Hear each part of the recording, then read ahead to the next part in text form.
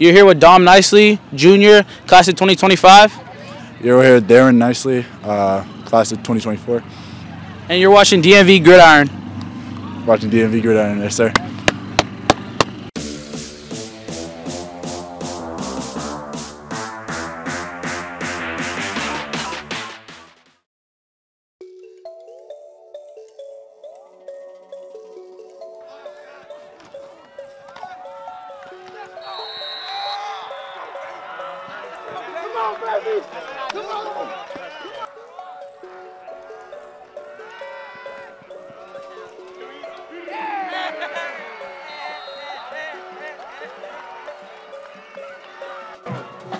Isaac Harris here with DMV Gridiron for SASN TV. I'm here at the Madison game big win today with two brothers, Dominic and Darren Knicely.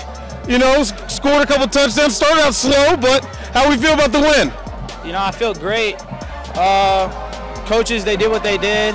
You know, they're giving us just great opportunities. They're coming out here, just setting us up for success. My brother, I appreciate him, and my old lineman, shout out BG, and just everyone for doing what they got to do so I can score and just be me. Awesome, Dom. D Darren, you want to add? Um, nah, just to piggyback on him, we did amazing offense and defense. We um, messed up a little bit in the first first half, and the second we started picking up. But um, I thought we did amazing, and we're gonna keep working on for next week. And I bet they're gonna have great competition next week.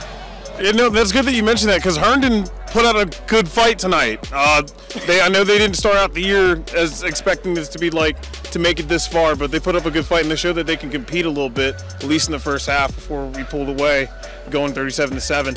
What was the what was the mindset in halftime for you guys collectively, knowing that first half that Herndon wasn't here just to be rolled over?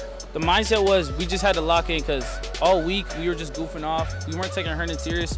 We were just thinking about our next game, states. We were just thinking about everything else. We just we just had to play in the present and just just lock in because we just just off this week. But you know the coaches gave us a little speech in there. We just locked heads and just uh, just collided together and worked as a team to get this win.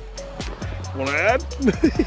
Basically said everything. Really. I mean, you got your But- own thoughts. But you yeah, yeah, yeah, yeah, yeah. Um, yeah, we're just gonna keep working. Wait, can you?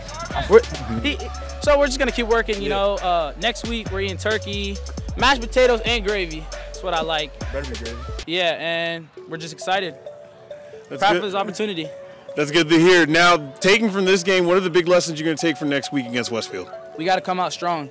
We came out very lackadaisical. We thought we were just gonna roll them, and that just wasn't the case. So we just got to come out stronger next week. You know, we're just gonna have to lock in, practice, stop goofing off and trolling and stuff, and just do what we do and play Madison football.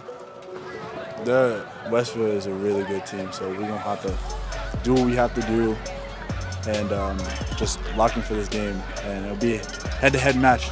Can't wait to play it. Can't wait to play it. Perfect. Darren and Dominic Knicely. Our big offensive juggernauts here for Madison, going going 37 against 7. Yeah, 37 to 7 against Herndon. I'm Isaac Harris here with DMV Gridiron for SASN TV. Appreciate you guys.